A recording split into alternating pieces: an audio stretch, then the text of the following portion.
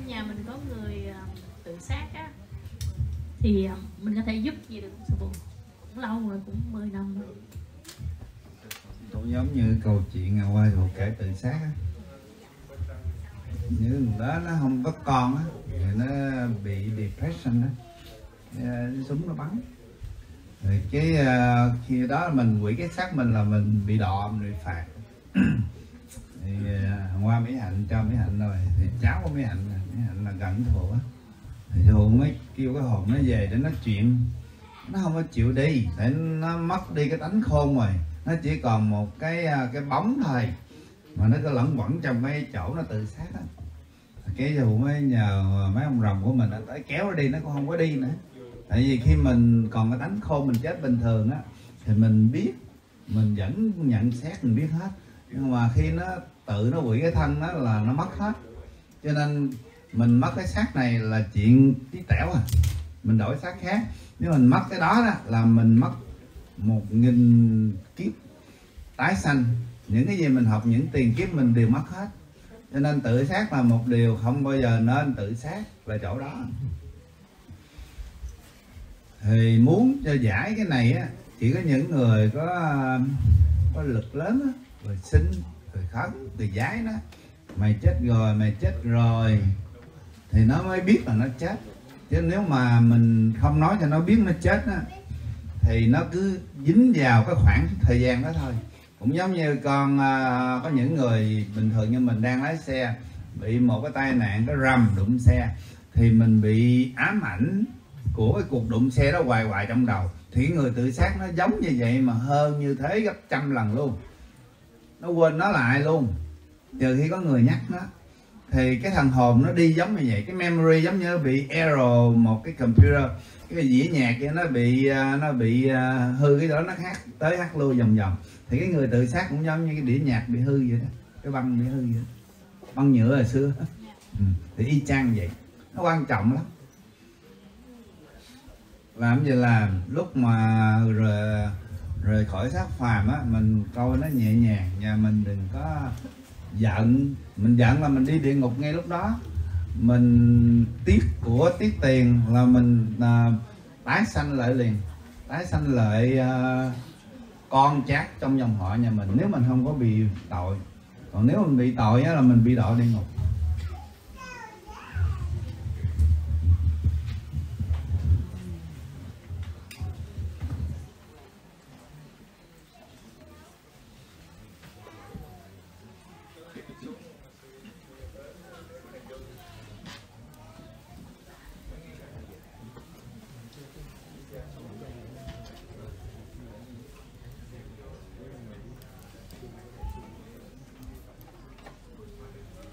Bây giờ mình ngồi đây nè, mình con với cha mẹ cha mẹ ở đó. Còn cái đám quỷ ở dưới á, thì nó đi kiếm chuyện với mình, nó không có mút mình lên đây để lại cha lại mẹ để nhìn cha nhìn mẹ. Thì con nghĩ nó nó là những người như thế nào? Ở trên trời cũng vậy thôi à quỷ nó cũng vậy. Nó cứ đem à, con cháu thiên ma, nó a tô la tới thiên đình, nó kiếm chuyện, nó quýnh hoài, nó chiến đấu trên đó hoài. Xuống thế gian này nó cũng chiến đấu với mình như thế tại sao bao nhiêu người mua đất cái vùng này nó không kiếm chuyện mà kiếm chuyện cho mình hoài vậy tốn tiền ba bốn triệu bạc rồi đó lực sơ giấy tờ mình lên đây thôi mà cũng làm vậy nữa. Giờ cho bộ biết cũng lì nó luôn cũng biết muốn nó muốn gì nữa. Mục đích của nó cuối cùng nó chỉ muốn mình à, giống như à, chán nản rồi bán. Đến độ đó cái thằng mới nghĩ lại mày chắc tìm lộn người rồi đó gặp những người đầu tư bình thường, nó cứ nghĩ cho phụ là một nhà đại gia đầu tư bình thường. Tao cứ làm cho mày tốn tiền nhức đầu hoài, không có tự do thoải mái, mày phải bán. Tao không muốn một thằng ở châu ờ, nó nghĩ cho phụ là người tàu quá không. Mua cái mảnh đất ờ, quý của tao ngay cái vùng miêu phi đá này, tại vì mình mà lên núi này mình có phong cảnh này á, thường thường dân ở đây phải lái xe 4 năm tiếng, còn mình có 15 phút tới rồi, đúng không? Đói bụng là chạy xuống ăn, chạy lên lại rất là quý cục đất này, không bao giờ tìm trong vậy đất kali đó thì nó cứ nghĩ là thế nào cho cũng bán. Mấy mấy con nghĩ thằng này nó tìm lộn người á. Cho nên kiếm chuyện mình năm bảy năm nay là vậy. Cái gặp mấy người thường nó thôi mày bán này mày kiếm cục khác mày mua, mày làm dễ hơn này nọ.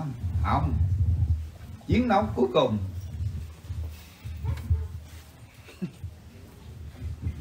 Lên đây mình ngồi có xúc mà không để trơm lên quay phim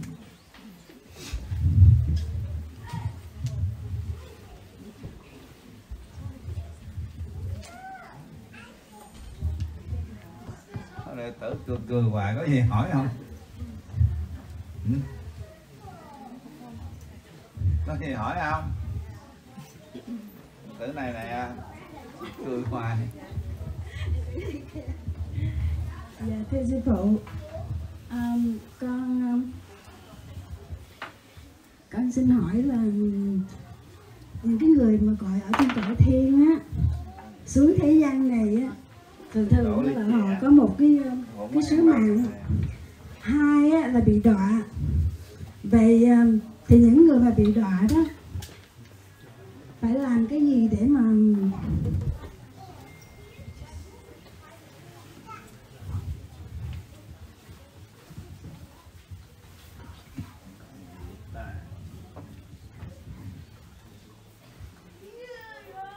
nói được rồi khóc cho đã đi rồi nói.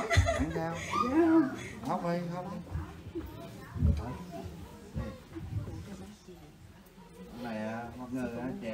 Ổng ăn đi. Những cái người bị đọa đó phải phải làm cái gì để mà được, đói công chuộc tội?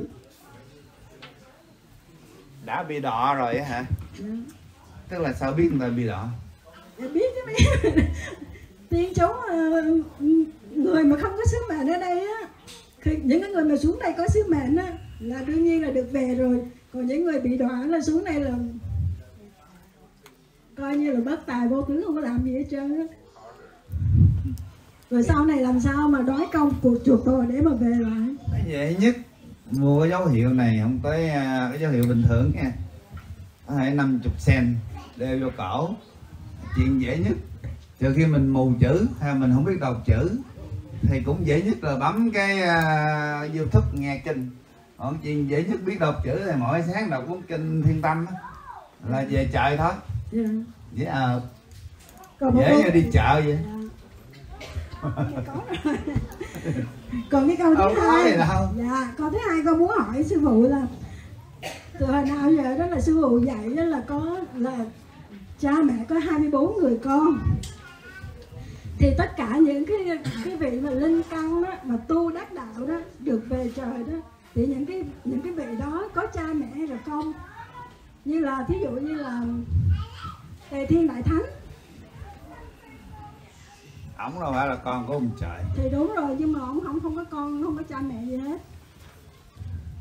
Như là ở dưới thủy cung thì ờ, công chúa cũng có gia đình. Thì những cái người mà tu được lên trên cõi cõi cõi trời đó họ có gia đình hay không? Thì nhìn cha mẹ đi. Là như thế nào? Là cha mẹ của mình. À, dạ. Thì đó là tượng trưng. Dạ. Rồi à, cái gì nó lung tung á hỏi câu nào ra câu đó nha. Để mình phân tích ra. Cái gì 24 người con là làm sao con trời là làm sao? Thí dụ như là mỗi một cái um, ở trên thiên đình có một cái đại gia đình là cha mẹ có 24 người con. Ở thủy cung. Ok thiên đình tính thiên đình trước đi. Thủy Dạ. cung là một cái thế giới khác là thiên đình sao? 24 người có con 24 người con. À. như vậy là những cái linh căn mà tu đắc đạo. Linh căn là những 24 người con đó không, đó hả? Không, không, con nói lộn. Những cái vị thí dụ như một cái cục đá hay là một cái hoa hay là một cái con rùa một con rồng gì đó tu đắc đạo được lên trên trên trên trời. Thì thí dụ như cái con rùa đó, có được, có cha mẹ hay không, có gia đình hay không, hay là nó chỉ là một mình nó? Cái chuyện nó là như vậy. Ngày xưa, hàng tỷ tỷ năm trong vũ trụ, chưa có bất cứ một cái hành tinh nào có loài người hết. Cha là người đầu tiên, là một khí dương, là một cái thạch thiên khổng lồ trong không gian. Mà cái thạch thiên đó hình dấu là cái này nè chữ thật về trái tim cứ bay lơ lửng trong bầu trời. Cứ bay hàng tỷ năm như du ngoạn một mình vậy tại vì cha là một cái luồng khí dương một mình mà. Không ai sanh cha ra. Rồi cái cha cảm thấy cô đơn buồn quá. Cái cha mới quá ra mẹ. Để cho có đôi có bạn quá không? Khi quá mà mẹ rồi cũng hai cặp uh, ngao du sơn thủy như là phạm lãi tay thi vậy đó.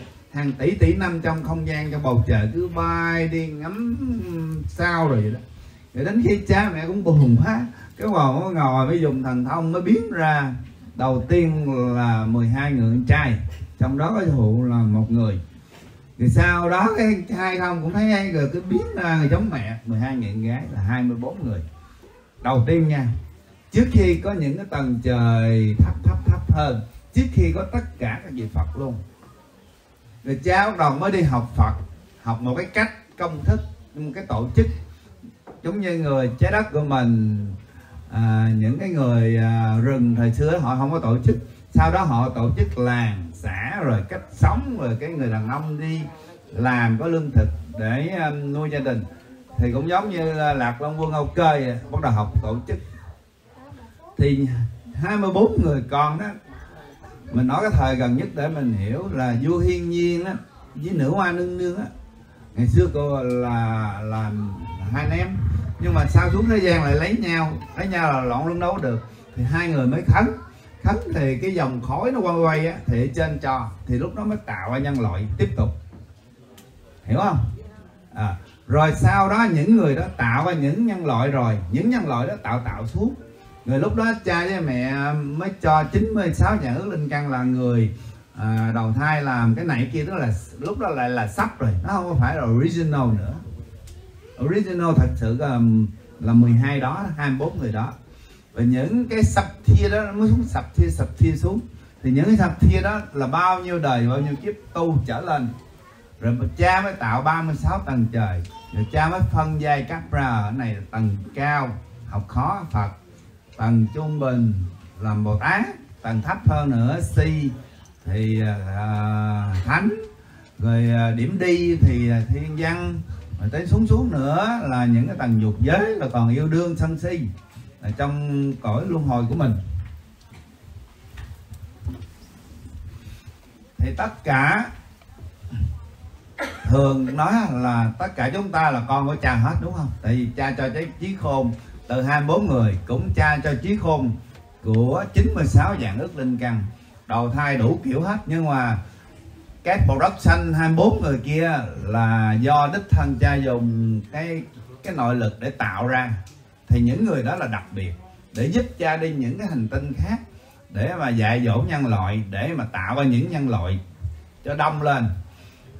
Rồi từ những cái nhân loại đó mới tạo tạo ra. Nhưng mà mỗi một người mà khi mang thai là cha là người cho cái chân linh khôn. Thì thì chúng ta cũng là có nguồn gốc. Nhưng mà cái nguồn gốc 24 người kia là loại khác sanh ra là đã có bi trí dũng.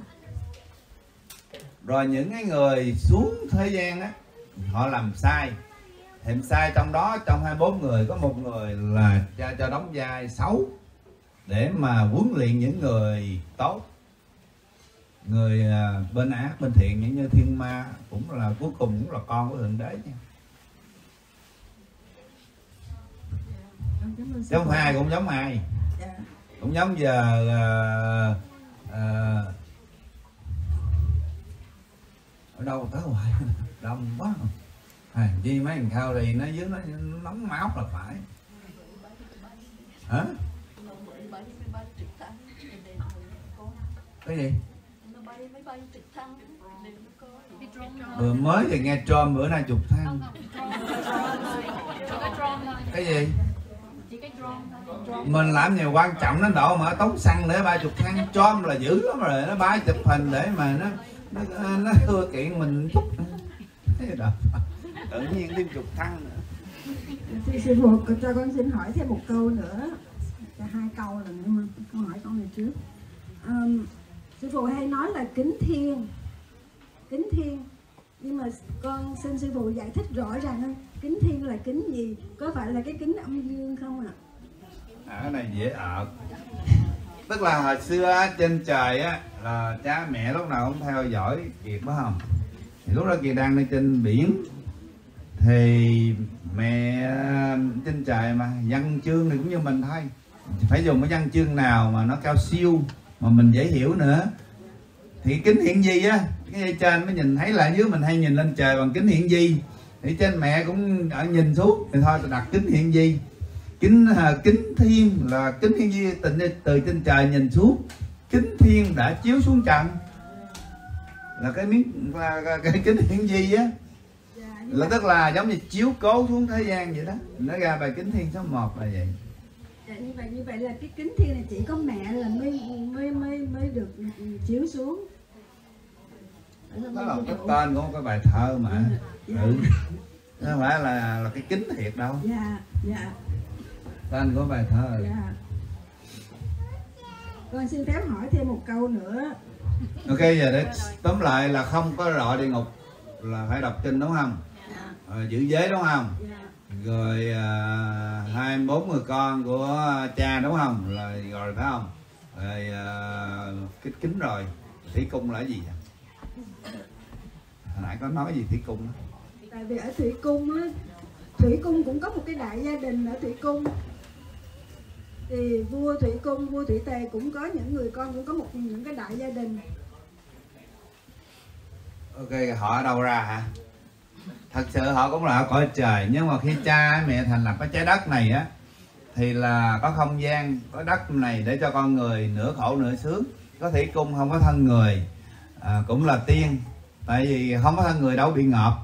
Nhưng mà ở dưới người ta có một cái thế giới một cái cách sống khác để mà có nước để mà support cái tha, cái cái loài người mình. Còn trên không mình thắng thì trên không gian thì có cha mẹ chiếu xuống. Cho nên mình xuống biển biển là ba ba phần tư của trái đất này. Đất liền 25 phần trăm. Cho nên phải có cái thủy cung để mà cho mình có có cá phải không? Rồi à, cho mình có sự sống ở dưới nước thì cũng phải có người cai quản nước. Chứ đâu có để bỏ quan rồi à, mình muốn làm gì với nước mình làm thì mới có thủy cung chứ. Thật sự họ cũng là người cõi trời chư thiên. Sư phụ cho con hỏi thêm một câu này nữa câu này đó con um, canh cánh ở trong lòng rất là nhiều năm. Con muốn xin hỏi đang ngoài trời mà kia mấy đứa đừng ra ngoài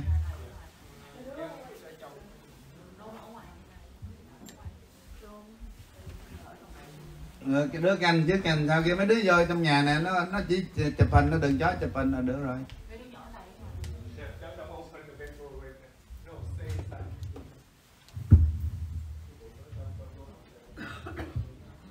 Dạ thưa sư phụ sư phụ.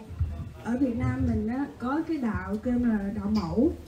Và cái đạo mẫu này nó xuất phát từ trong cái thế thế giới mà cung đình từ lâu năm rồi và cái đạo mẫu này á ở ngoài Huế đó người ta gọi là đạo Thiên Tiên Thánh giáo. Cái đạo Thiên Tiên Thánh giáo này đó là người ta chuyên môn người ta thờ thánh. Lên đồng để thờ thánh chứ không phải là lên đồng để mà thờ những cái cốt. Ờ, mẫu liễu hạnh đồ gió ngoài đó luôn. Nặng nặng cái cổ. Thì, thì cái câu hỏi của con là thiên tiên thánh giáo là vừa thờ trời thờ phật thờ tiên và thờ thánh như là thánh trần hưng đạo. Như vậy thì trong vô vi đó thiên tiên thánh giáo có từng hiện hữu hay không? Và có liên quan gì đến đạo thiên tâm này hay không? Thơ chị cũng chẳng biết thiên tiên thánh giáo là ai. Chị chỉ biết mấy ông Phật với mấy ông thần, mấy ông thánh tiếp xúc với kiện thôi. Dạ, Chị dạ. chỉ biết cha mẹ thôi. Nhưng mà mỗi một vị à, thần họ cũng có thể lập đạo riêng của họ. Dạ. Mỗi một à, một vị thánh người ta cũng có thể lập một cái môn phái của họ dạ. nhỏ nhỏ nhỏ nhỏ như vậy. Cảm nhưng mà quan trọng nhất là những gì họ làm á có tránh à, đạo không? Dạ. Có tốt hay không thôi chứ Ừ. còn ngoài kia muôn trùng. Dạ. Hết này miếu kia đó thường đó mà. Dạ con cảm ơn sư phụ